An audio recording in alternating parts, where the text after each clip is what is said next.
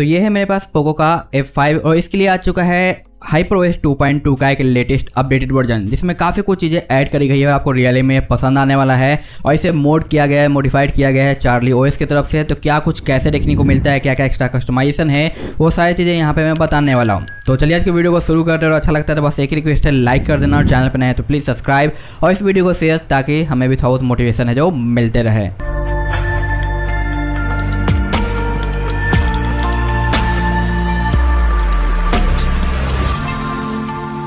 यहाँ पे आप देख पा रहे हो एक लाइव वॉलपेपर में यूज़ कर रहा हूँ। तो ये वॉलपेपर मैंने ऑलरेडी लाइव वाला ही दे रखा है अपने वॉलपेपर चैनल पे, जहाँ से आप इसे निकाल सकते हो।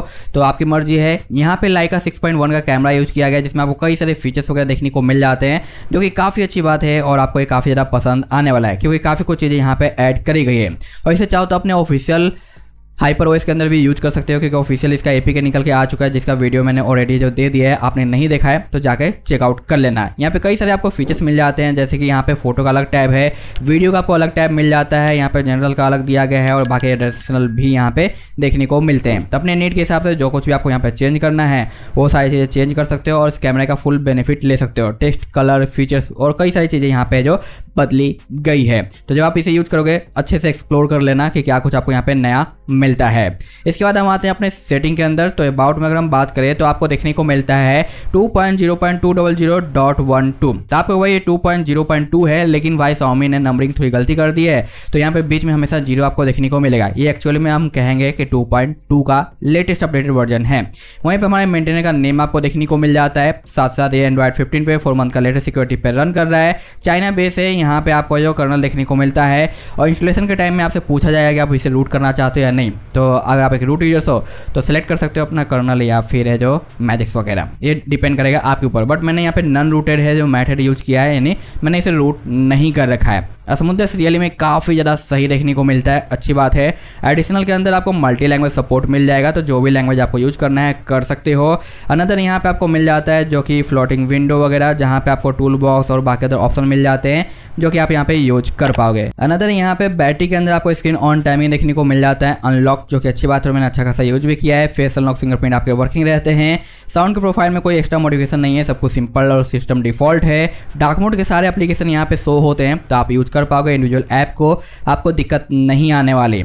एडवांस टेक्सचर भी दिया गया है और यहाँ पे 120, 60, 90 अनलॉक है तो आप चाहो तो बैटरी सेविंग के लिए 90 पे यूज़ कर सकते हो। बट मेरा मानना है कि भाई 120 दिया गया तो मैं 120 ही यूज़ करूँगा चाहे एक दो परसेंट एक्स्ट्रा बैटरी खर्च हो बट मुझे बैटरी नहीं बचानी क्योंकि मुझे फुल बेनिफिट लेना है फीचर्स का। बट आपका क्या ओपिनियन है आप बताना। ऐसा नहीं कह रहा कि बैटरी नहीं बचाने का मतलब बैटरी बेकार है। बैटरी अच्छा है। मैं बस एक ओपिनियन शेयर कर रहा हूँ। ओके होम लॉन्चर में काफ़ी कुछ मॉडिफाइड किया गया जैसे कि enhance blur advance texture force dark blur और यहाँ पे आपको ऐप वेल्ट का ऑप्शन मिल जाता है सर्च बार होम स्क्रीन पे, यहाँ पे सर्च बार के अलग अलग स्टाइल दिए गए हैं। यहाँ पे सर्च बार ब्लर का ऑप्शन आपको देखने को मिल जाता है प्रोवाइडर है स्मॉल फोल्डर ब्लर का ऑप्शन दिया गया है। बाकी यहाँ पे आप आइकन के अंदर आते हो तो आइकन साइज़ में आपको यहाँ पे अलग अलग बैकग्राउंड कलर देखने को मिलते हैं। इतना ही नहीं डॉक का कस्टमाइजेशन दिया गया है, जो कि आप अपने हिसाब से यहाँ पे जैसा चाहो वैसा है जो रिड्यूस है, ये यहाँ पे कर सकते हो। तो काफ़ी चीज़ें यहाँ पे ऐड करी गई है, जो कि आपको यहाँ पे पसंद आने वाला है। तो जिस तरीके से आपको इस डॉक को कस्टमाइज करना है वैसे आप यहाँ पे जो कस्टमाइज कर सकते हो। तो ये काफ़ी अच्छा यूजफुल और काफ़ी डिफरेंट सा आपको फीचर्स मिलता है। बाकी आप चाहो तो टेस्ट को सिंगल लाइन पे या रनिंग लाइन पे जो यहाँ पे ऑन कर सकते हो। अनलॉकिंग के एनिमेशन दिए गए मी इलेवन का डिसेबल का या फिर डिफ़ॉल्ट का। अनदर यहाँ पे आपको वॉलपेपर जूम का ऑप्शन मिल जाता है। प्रीवियस ऐप का सर्च टू सर्कल रखना है या नहीं, वो ऑप्शन आपको मिल जाता है। और यहाँ पे अलग अलग स्टाइल दिए गए, जैसे कि स्टॉक स्टाइल हॉरिजेंटल और वर्टिकल वगैरह है। यहाँ पे टैप को छोटा बड़ा भी करने का ऑप्शन आपको यहाँ पे मिल जाता है। तो देख सकते हो बैकग्राउंड पूरा का पूरा ब्लर आपको देखने को मिल रहा है। तो ये भी चीज़ें आप यहाँ पे सिलेक्ट कर सकते हो। और यहाँ पे जो लॉन्चर है, वो काफ़ी स्मूथ काम करता है तो दिक्कत नहीं आती। अनदर यहाँ पे आपको मिल जाता है होम लॉन्चर के अलावा नोटिफिकेशन हिस्ट्री स्टाइल और बाकी यहाँ पे कस्टमाइज टोगल जो कि 2.2 का फीचर्स है, यहाँ पे ऐड करा गया है। तो कई सारे एक्स्ट्रा ऑप्शन भी आपको मिलते हैं और अगर आप अलार्म ऑन कर रखते हो और अलार्म आपने सेट कर रखा है तो जितना भी रिमेनिंग टाइम रहेगा, वो आपके लॉक स्क्रीन पे शो करते रहता है। तो ये चीज़ डिफरेंट आपको मिलती है। बाकी सारे कस्टमाइजेशन आपको सिंपल ही देखने को मिल जाते हैं सिमिलर पहले जैसे ही। बाकी यहाँ पे भी सेम चीज़ आपको मिलती है वॉल पेपर पर्सनलाइजेशन के अंदर आपको ए आई मिल जाता है, जो कि आप यहाँ पे डायनेमिक का बेनिफिट ले पाओगे प्रॉपर काम करता है। एओडी की टाइमिंग भी रिमूव की गई है। बट आप चाहो तो पे जैसे वैसे यूज़ कर सकते हो बट मैं रिकमेंडेड करूँगा टेन सेकेंड वाला ही यूज़ करना, ज़्यादा बेटर रहेगा आप सभी के लिए। अनदर यहाँ पे वही सारे सिस्टम डिफ़ॉल्ट मिलते हैं, कोई एक्स्ट्रा कस्टमाइजेशन नहीं दिया गया, लेकिन बस लॉन्चर में जो कस्टमाइजेशन था वो सही था।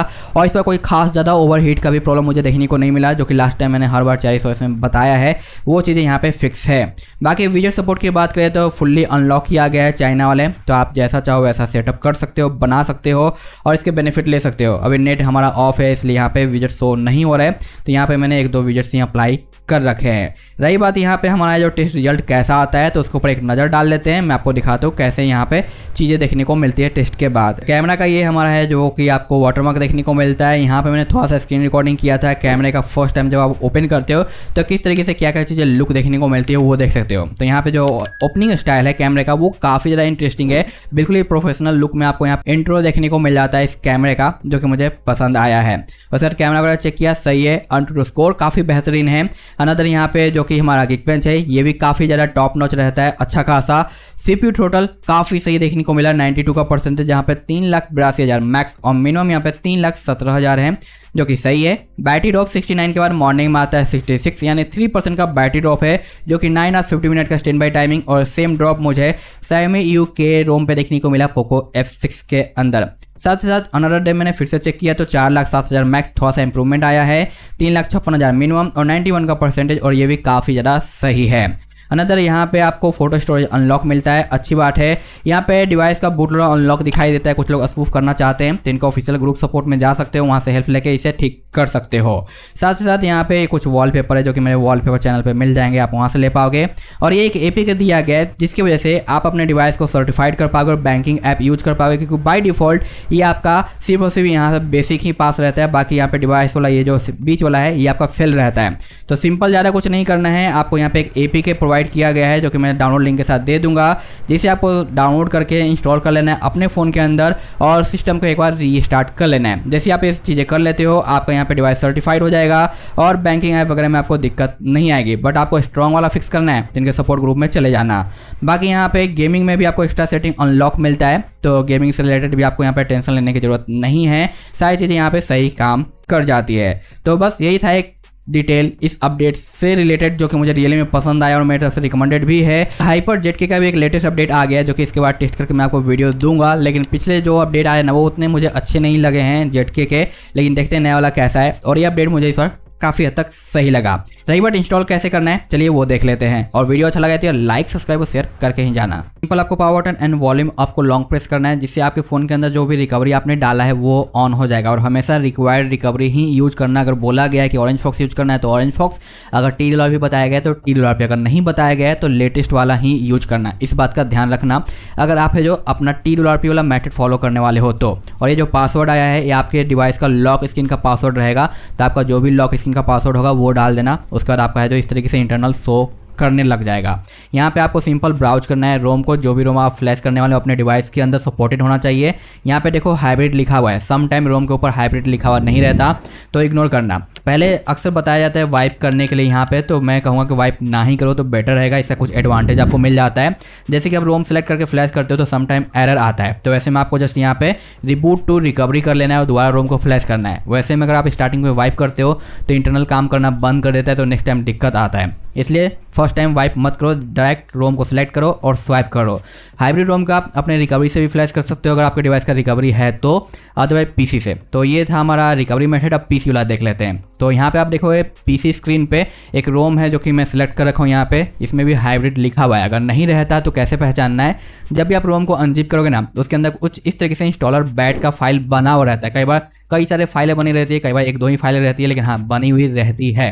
और मोस्ट टाइम लिखा हुआ रहता है। तो ये चीज़ आप ध्यान में रखना। अब सिंपल इसे एक्सट्रैक्ट कर लेना है और यहाँ पे फ्लैश हो रहा है, इसे हम होने देते हैं। एक्सट्रैक्ट हो जाने के बाद इसका जो फोल्डर क्रिएट हुआ है, उसे आपको ओपन कर लेना है। देखो, और भी मैंने यहाँ पे रोम को अनजिप कर रखा है। तो यहाँ पे एक्स्ट्रा फाइलें बनी हुई है। मोस्टली हमें जो फ़र्स्ट टाइम इंस्टॉल वाले के ऊपर फोकस करना है। तो मैंने भी जो अनजिप किया था, वो ये रहा। ठीक है, इसमें इंस्टॉलर फ़ाइल है। अब मैं इसे इसमें फ्लैश करके दिखा रहा हूँ। तो उसके लिए क्या करना है हमें फास्ट मोड ऑन करना है, जिसके लिए power ton and volume down को लॉन्ग प्रेस करेंगे। जैसे लाइट अप होगा, हम पावर टन को लीव करेंगे और वॉल्यूम को दबाए रखेंगे। अब यहाँ पे आ चुका। अब इसे हम पीसी से कनेक्ट कर सकते हैं। और ये जो प्रोसेस है ना, ये आप अपने फ़ोन से फॉलो नहीं कर सकते, इसके लिए पीसी की ज़रूरत पड़ेगी ही। लेकिन यहाँ पे जो प्रोसेस बताया सेकेंड वे जो कि रिकवरी का है, ये तो आप कर ही सकते हो। अब यहाँ पे मैं बैट फ़ाइल को रन कर दूँगा। मे बी कोई कोई बैड फ़ाइल रन होते समय आपसे कुछ परमिशन वगैरह माँगता है और कई बार सिंपली फ्लैश होने लग जाता है तो आपको कमांड के ऊपर ध्यान देना है। जैसे कि पूछ रहा है कि रूट करना है या नहीं, अगर आपको नहीं करना है तो उसके अनुसार ऑप्शन सेलेक्ट कर लेना। जैसे कि डोंट रूट अगर आपको रूट करना है तो आप उसके अनुसार सेलेक्ट कर सकते हो। उसका इंटर क्लिक करो। अगर ये ऑप्शन आते हैं तो करना है अदरवाइज़ सिंपल फ्लैश होने लग जाता है। पूछ रहा है कि रूट क्या से करना है मैजिक से या फिर के जिसके लिए ए और बी का ऑप्शन है तो आप उसके अनुसार अपना पिक कर लेना और इंटर पे क्लिक कर देना। अब यहाँ पे कस्टम कर्नल भी इसमें दिया गया है तो उसके अनुसार पूछ रहा है कि स्टॉक चाहिए, फिर कस्टम चाहिए तो अपना ऑप्शन सेलेक्ट कर लेना। मुझे अगर चाहिए कस्टम तो मैं यहाँ पे क्या करूँगा डी दबाऊँगा इंटर पे क्लिक करूँगा। तो समटाइम ये पूछेगा समटाइम नहीं पूछेगा, इसलिए मैंने दिखाया ताकि आपको दिक्कत ना आए। तो ये था दूसरा मेथड जो कि हाइब्रिड है। मैंने पीसी फ्लैश किया। अगर चाहता तो मैं इसे इंटरनल में डाल के फ्लैश कर सकता, जैसे कि मैंने यहाँ पे आपको दिखाया है। अब यहाँ पे कंप्लीट फ्लैश हो गया है। अगर नहीं होता तो क्या बोला था? रिबूट टू रिकवरी करके फिर से फ्लैश करने के लिए। तो जैसे कंप्लीट फ्लैश होगा होम पे आना है वाइप पे जाना है फॉर्मेट पे जाना है, यहाँ पे यस टाइप करना है और राइट पे क्लिक कर देना है। और रिबूट पे कर देना है। इस तरीके से अगर नो इस इंस्टॉल लिखा हुआ भी आता है तो इग्नोर करना। समटाइम ये लिखा हुआ आता है और समटाइम नहीं आता। जस्ट हम यहाँ पे कर देंगे, क्योंकि हमारा रोम इजीली फ्लैश हो चुका है। टेस्ट हाइब्रिड का मेथड वन जो कि रिकवरी की हेल्प से था। और दूसरा भी है जो रन कर रहा है, जो कि हमारा पीसी का मैंने एक साथ दोनों इसलिए बताया ताकि कम टाइम में आपको दोनों प्रोसेस समझ में आ जाए और जो भी आपके लिए अच्छा रहे, वो आप फॉलो कर लेना अपने फ़ोन के अंदर। तो इग्नोर करना कि मैं डिवाइस कौन सा यूज़ कर रहा हूँ रोम कौन सा यूज़ कर रहा हूँ, बस आपको प्रोसेस के ऊपर ध्यान देना है और फॉलो कर लेना है। यहाँ पे आप देख सकते हो कि इसका बूट एनिमेशन आ गया और ये ऑन भी हो गया और हाइब्रिड वाले मेथड में जो पीसी वाला है, उसमें आप देख सकते हो लास्ट में पूछ रहा है कि आपको इंटरनल फॉर्मेट करना है या नहीं। समटाइम ये ऑटो फॉर्मेट कर देता है पूछता नहीं है। तो जब पूछे तो आप यस कर लेना इंटरनल फॉर्मेट कर लेना एवरी टाइम बेटर रहता है। रोम के स्मूथनेस और बेटर परफॉर्मेंस के लिए। तो यस टाइप करेंगे और क्लिक कर देंगे। आप देखोगे कि हमारा कमांड बंद हो चुका है रन कर रहा था जो। हमारा फ़ोन यहाँ पे ऑफ़ हो गया, अब ऑन करेगा और कुछ देर में ये भी बूट कर जाएगा।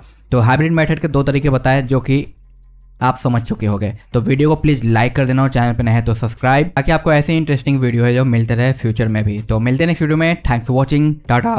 Bye bye